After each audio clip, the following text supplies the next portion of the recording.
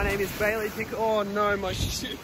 Oh no, let's get this over done quickly. My name is Bailey Pickles. I'm a music composer based in Sydney, Australia.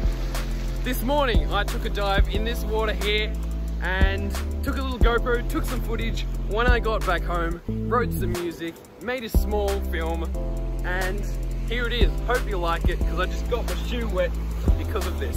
But you know what? I'm doing it for the content. Subscribe if you like it. Enjoy the video.